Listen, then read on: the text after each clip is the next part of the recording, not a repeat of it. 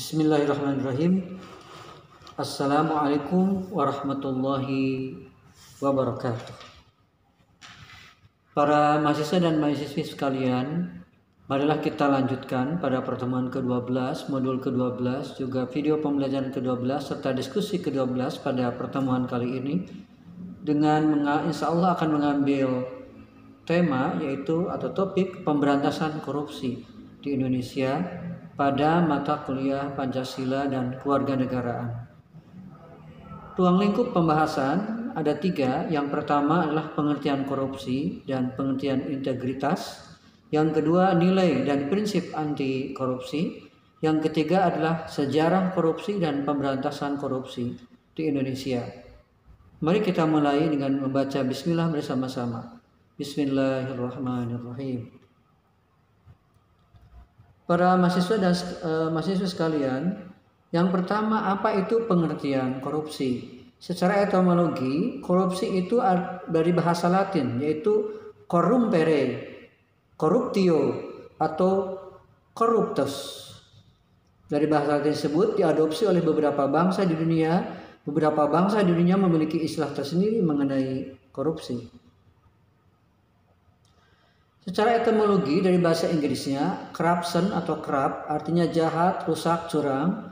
Dari bahasa Prancis, corruption artinya rusak. Dari bahasa Belanda, corruptie, corruptie artinya atau secara umum arti korupsi ini bisa disimpulkan uh, yang dipakai di Indonesia juga istilah korupsi itu merupakan turunan dari bahasa Belanda. Korupsi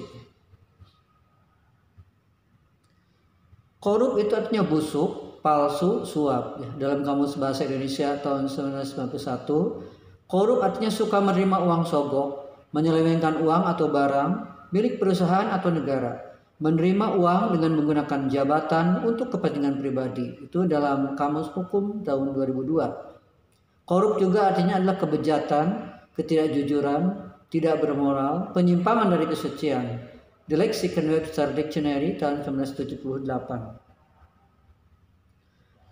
Para mahasiswa dan mahasiswa sekalian, eh, korupsi secara terminologi ada beberapa pengertian eh, menurut para ahli. Pertama menurut David M. Chalmers, korupsi adalah tindakan-tindakan manipulasi dan keputusan mengenai keuangan yang membahayakan ekonomi, financial manipulation and decision injurious to the economy are often labeled corrupt. Kemudian menurut J.J. Centuria, korupsi adalah penyalahgunaan kekuasaan pemerintahan untuk keuntungan pribadi. The misuse of public power for private profit. Halnya menurut uh, Syed Hussein Al-Attas, korupsi adalah tindakan yang meliputi penyuapan, beri-beri, pemerasan, extortion, dan nepotisme. Sedangkan menurut Transparansi Internasional, korupsi itu adalah penyalahgunaan kekuasaan. Artinya a misuse of power. Kekuasaan yang dipercayakan, a power that is entrust, dan keuntungan pribadi, a private benefit, baik sebagai pribadi, anggota, keluarga, maupun kerabat dekat lainnya. Selanjutnya kita akan beranjak pada pembahasan tentang tingkat-tingkat korupsi. Tingkat korupsi itu yang pertama adalah betrayal of trust, pengkhianatan kepercayaan. Kemudian yang lebih tingginya lagi, korupsi yang kedua adalah abuse of power, penyalahgunaan kekuasaan. Dan korupsi yang paling atas adalah material benefit, yaitu mendapatkan keuntungan material yang bukan haknya melalui kekuasaan. Ini tingkatan korupsi ya. Selanjutnya, pengkhianatan terhadap kepercayaan atau betrayal of trust Pengkhianatan merupakan bentuk korupsi yang paling sederhana. Semua orang yang berkhianat atau mengkhianati kepercayaan atau amanat yang diterimanya itu adalah dipandang sebagai koruptor. Amanat dapat berupa apa pun, baik materi maupun non materi. Ya. Eh, contohnya pesan, aspirasi rakyat dan sebagainya. Anggota DPR yang tidak menyampaikan aspir aspirasi rakyat atau menggunakan aspirasi hanya untuk kepentingan pribadi itu adalah merupakan bentuk korupsi. Apakah jika seseorang melakukan perselingkuhan, dia juga sudah melakukan korupsi dan pantas disebut koruptor? Ini perlu uh, diskusi juga ya di lebih lanjut di waktu khusus. Selanjutnya adalah penyalahgunaan kekuasaan, abuse of power. Abuse of power merupakan korupsi tingkat menengah, merupakan segala bentuk penyimpangan yang dilakukan melalui struktur kekuasaan, baik pada tingkat negara maupun pada lembaga-lembaga struktural lainnya, termasuk pada lembaga pendidikan, tanpa mendapatkan eh, keuntungan materi. Penyalahgunaan kekuasaan untuk mendapatkan keuntungan material atau material benefit, penyimpangan kekuasaan untuk mendapatkan keuntungan material baik bagi dirinya sendiri maupun orang lain. Korupsi pada level ini merupakan tingkat paling membahayakan karena melibatkan kekuasaan dan keuntungan material. Ini merupakan bentuk korupsi yang paling banyak terjadi di Indonesia. Kemudian unsur-unsur yang dapat menentukan sesuatu itu dapat dianggap sebagai korupsi atau tidak yang pertama, bahwa sesuatu ditindakan korupsi adalah e, melawan hukum. Segala upaya yang melawan hukum. Kemudian yang kedua adalah memperkaya diri sendiri atau orang lain. Yang ketiga, merugikan keuangan atau perekonomian negara. Itu unsur-unsur yang dianggap sebagai e, korupsi. Selanjutnya merugikan keuangan perekonomian negara, korupsi menghambat pembangunan dan kegiatan usaha di Indonesia. Setiap kegiatan perekonomian harus melewati pintu-pintu korupsi. Perkembangan kegiatan usaha terhambat, pengangguran makin banyak, harga barang dan jasa menjadi melambung gara-gara korupsi. Selanjutnya pendidikan dan kesehatan juga menjadi sangat mahal Satu hal, mengapa di Indonesia korupsi semakin sulit diberantas? Walaupun sekarang masih sedang diupayakan, ya mudah-mudahan saja bisa mengurangi bahkan sampai melenyapkan korupsi di Indonesia. Salah satu mengapa di Indonesia korupsi semakin sulit diberantas, satu karena korupsi itu sudah mendarah daging, sehingga perilaku korupsi sudah menjadi hal yang biasa dan bukan lagi dianggap segi penyakit yang harus segera disembuhkan. Yang kedua, dengan demikian semakin sulit membedakan mana perilaku korupsi dan mana yang bukan korupsi. Dan ketiganya ibarat maling, teriak teriak maling. Ini eh, sulit eh, membedakan atau memberantas korupsi. Selanjutnya kita akan beralih kepada integritas. Apa itu integritas? Kemudian manfaatnya, fungsinya, dan contohnya. Integritas adalah jati diri seseorang dan merupakan lawan langsung dari kemunafikan. Seseorang dianggap berintegritas ketika orang tersebut memiliki karakter dan kepribadian seperti yang disebutkan di bawah ini. Yang pertama dia jujur dan bisa dipercaya. Yang kedua mempunyai komitmen. Yang ketiga bertanggung jawab. Yang keempat menepati ucapannya. Yang kelima setia.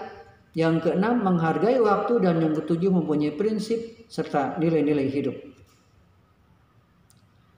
Para mahasiswa dan mahasiswa sekalian yang berbahagia, Para ahli juga mengemukakan pendapatnya tentang apa itu pengertian integritas.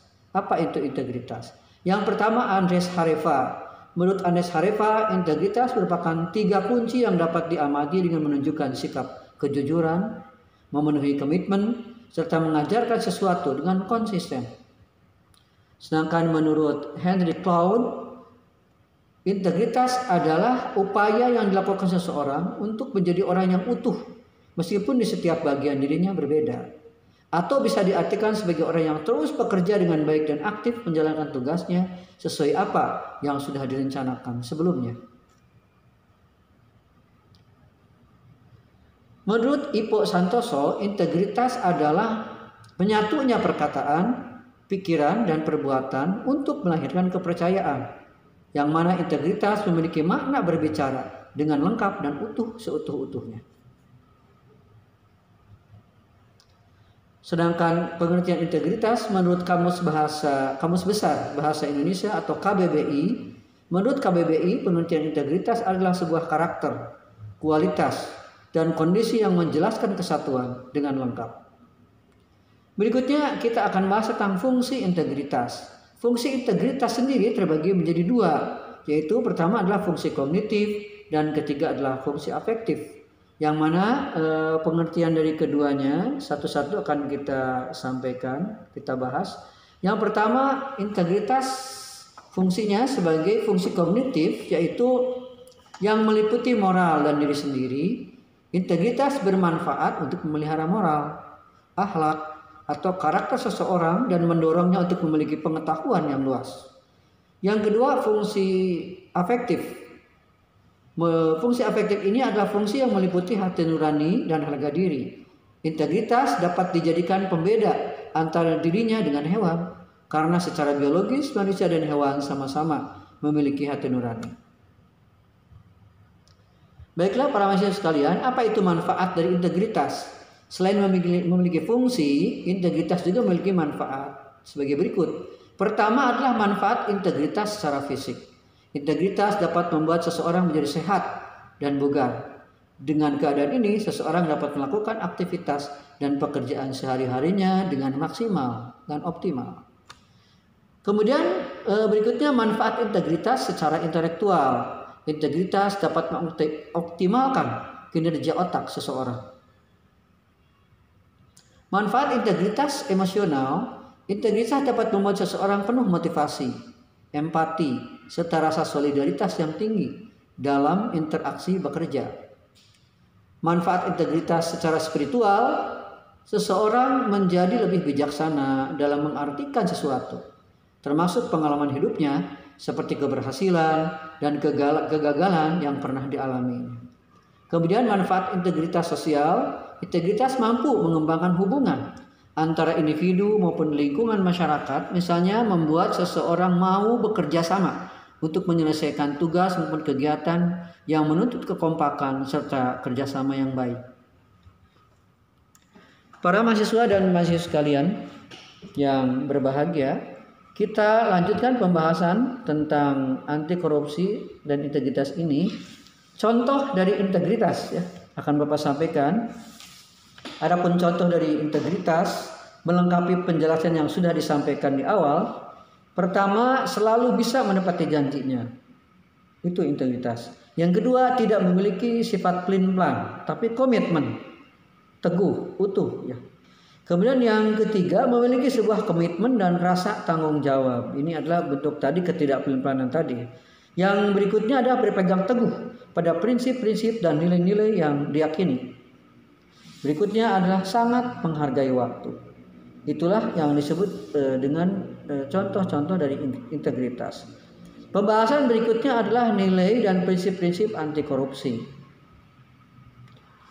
Prinsip-prinsip anti korupsi termasuk di sini eh, termasuk jaga nilai. Pertama adalah transparansi, kemudian yang kedua adalah akuntabilitas, atau bisa juga di dibalik yang pertama adalah akuntabilitas itu nilai dan prinsip-prinsip anti korupsi yang keduanya adalah transparansi yang ketiga adalah kewajaran yang keempat kontrol aturan main yang kelimanya adalah aturan main itu sendiri sekarang akan kita uh, artikan atau penjelaskan satu-satu. Yang pertama adalah akuntabilitas.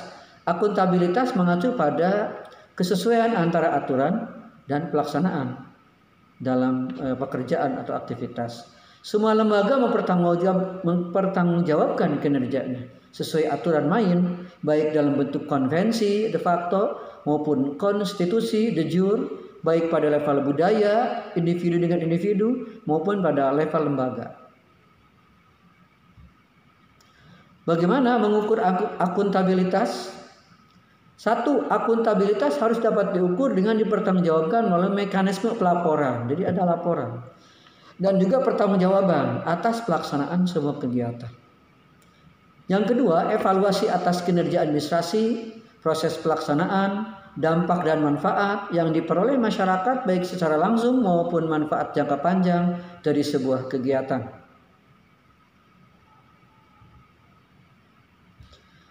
Berikutnya prinsip atau nilai transparansi. Transparansi merupakan prinsip yang prinsip yang mengharuskan semua proses kebijakan dilakukan secara terbuka sehingga segala bentuk penyimpangan itu dapat diketahui oleh publik. Transparansi menjadi pintu masuk sekaligus kontrol bagi seluruh proses dinamika struktural kelembagaan. Dalam bentuk yang paling sederhana, transparansi mengacu pada keterbukaan dan kejujuran untuk saling menjunjung tinggi kepercayaan atau trust. Berikutnya adalah perlunya keterlibatan masyarakat dalam proses transparansi.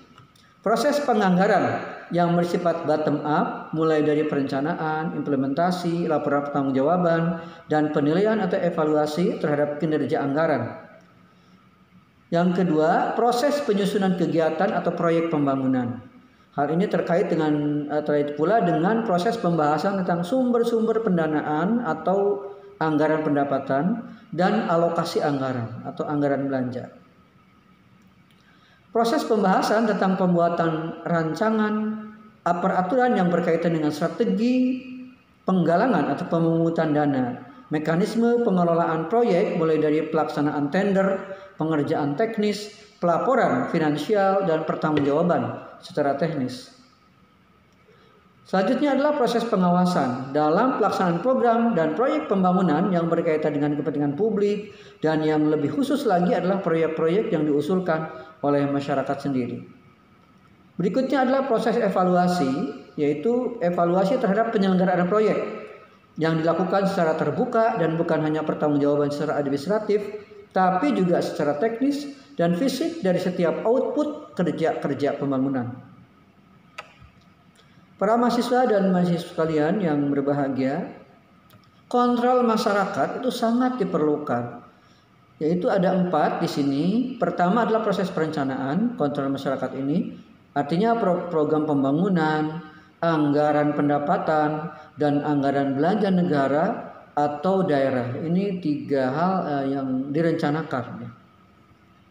Kemudian tahap berikutnya adalah masih dikontrol oleh masyarakat itu bukan hanya proses perencanaan tapi juga implementasinya atau pelaksanaannya. Di antaranya adalah alokasi sektor, pelaksanaan serta pengawasan e, format. Berikutnya adalah laporan pertanggungjawaban, output yaitu baik berkaitan dengan teknisi fisik dan administrasi. Yang keempat, yang terakhir adalah evaluasi dan penilaian kinerja anggaran yaitu tentang evaluasi uh, berkisar tentang outcome jangka pendek dan outcome jangka panjang. Berikutnya adalah prinsip fairness. Prinsip fairness ditunjukkan untuk mencegah terjadinya manipulasi atau ketidakwajaran dalam penganggaran, baik dalam bentuk markup maupun ketidakwajaran ketidakwajaran lainnya. Para mahasiswa sekalian, berikutnya adalah lima langkah untuk penegakan prinsip fairness. Ada langkah-langkahnya. Yang pertama, langkah pertama adalah komprehensif dan disiplin yang berarti mempertimbangkan keseluruhan aspek berkesinambungan, taat asas, prinsip e, pembebanan, pengeluaran dan tidak melampaui batas atau off budget yang kedua, fleksibilitas, yaitu adanya kebijakan tertentu untuk efisiensi dan efektivitas. Yang ketiga, terprediksi, yaitu ketetapan dalam perencanaan atas dasar asas value for money dan menghindari defisit dalam tahun anggaran berjalan. Anggaran yang terprediksi merupakan cerminan dari adanya prinsip fairness di dalam proses perencanaan pembangunan. Empat, kejujuran, yaitu adanya bias perkiraan penerimaan maupun pengeluaran yang disengaja yang berasal dari pertimbangan teknis maupun politis. Kejujuran merupakan bagian pokok dari prinsip fairness. Yang kelima adalah informatif, yaitu adanya sistem informasi pelaporan yang teratur dan inovatif dan informatif sebagai dasar penilaian kinerja, kejujuran, dan proses pengambilan keputusan. Sifat informatif merupakan ciri khas dari kejujuran. Berikutnya adalah kebijakan anti korupsi. Kebijakan anti korupsi mengatur tata interaksi agar tidak terjadi penyimpangan yang dapat merugikan negara dan juga masyarakat. Kebijakan anti korupsi tidak selalu identik dengan undang-undang anti korupsi, namun bisa juga berupa undang-undang kebebasan mengakses informasi, undang-undang desentralisasi, undang-undang anti monopoli, maupun lainnya yang dapat memudahkan masyarakat mengetahui sekaligus mengontrol terhadap kinerja dan penggunaan anggaran-anggaran negara oleh para pejabat negara. Empat aspek kebijakan anti korupsi. Empat aspek ya. Yang pertama adalah uh, isi, kemudian yang kedua adalah pembuat, yang ketiga adalah pelaksana dan yang keempat adalah kultur. Ini kebijakan anti korupsi ya. Empat kebijakan anti korupsi. Mari kita jelaskan empat aspek kebijakan anti korupsi. Pertama adalah isi kebijakan, yaitu kebijakan anti korupsi akan efektif apabila di dalamnya terkandung unsur-unsur yang terkait dengan persoalan korupsi. Jadi kalau ada kebijakan maka kaitkan dengan eh, persoalan-persoalan korupsi. Artinya eh, persoalan